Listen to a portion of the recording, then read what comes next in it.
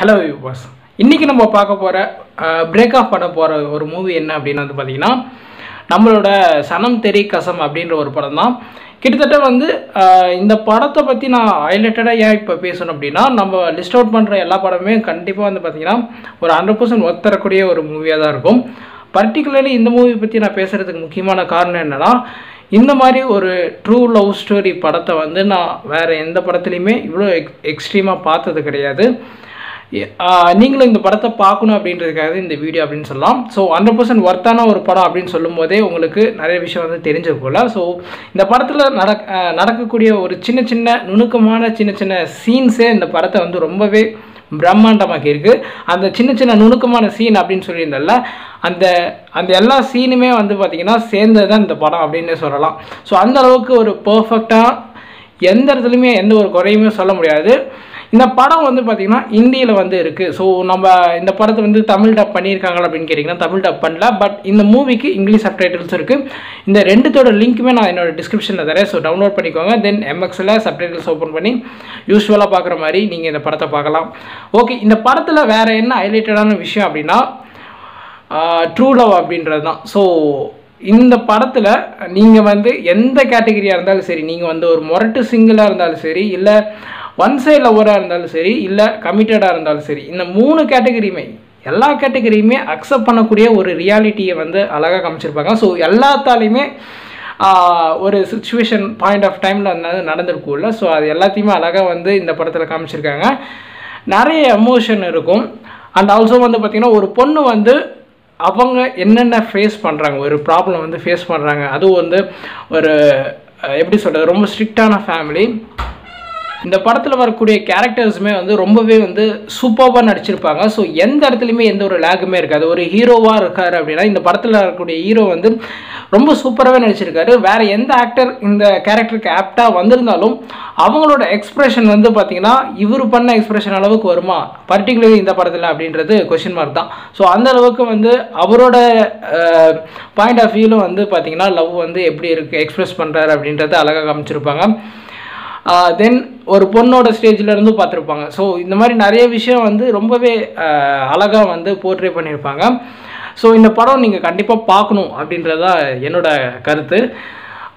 மேலும் வந்து பார்த்தீங்கன்னா இந்த படத்தில் இன்னும் ஹைலைட்டடாக பேச பேசணும் அப்படின்னா டைலாக்ஸ் தான். ஸோ இந்த படத்தில்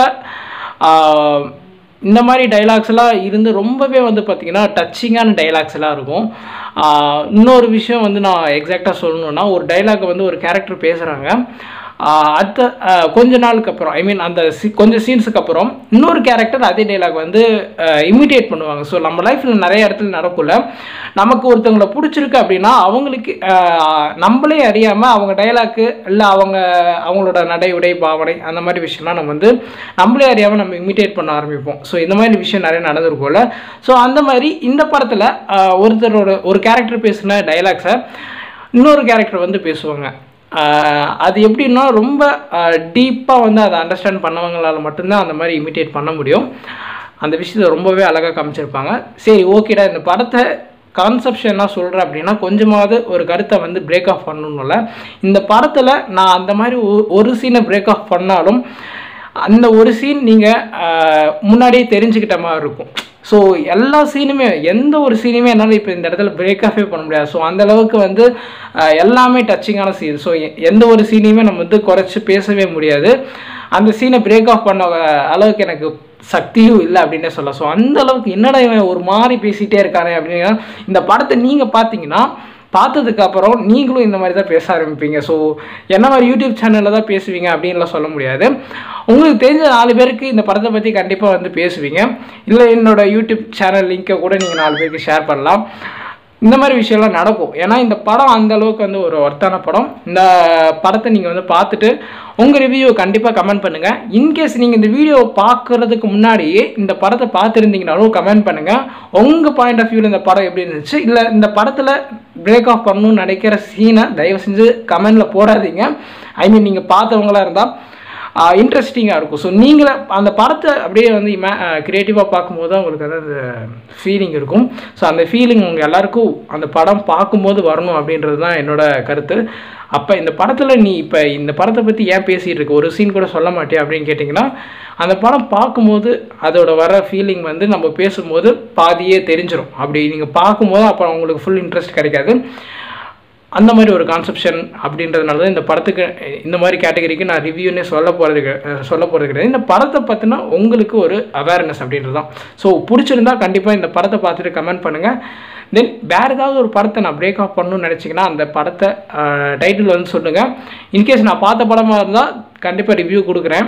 என் பாயிண்ட் ஆஃப் வியூவில் இன்கேஸ் இல்லைனாலும் நான் அந்த படத்தை பார்த்துட்டு அதுக்கேற்ற மாதிரி நான் ரிவ்யூ கொடுக்க பார்க்குறேன். பாபாய் நெக்ஸ்ட் வீடியோ உங்களை வந்து சொன்னீங்கன்னா உங்களுக்கு செஞ்சு பாபாய்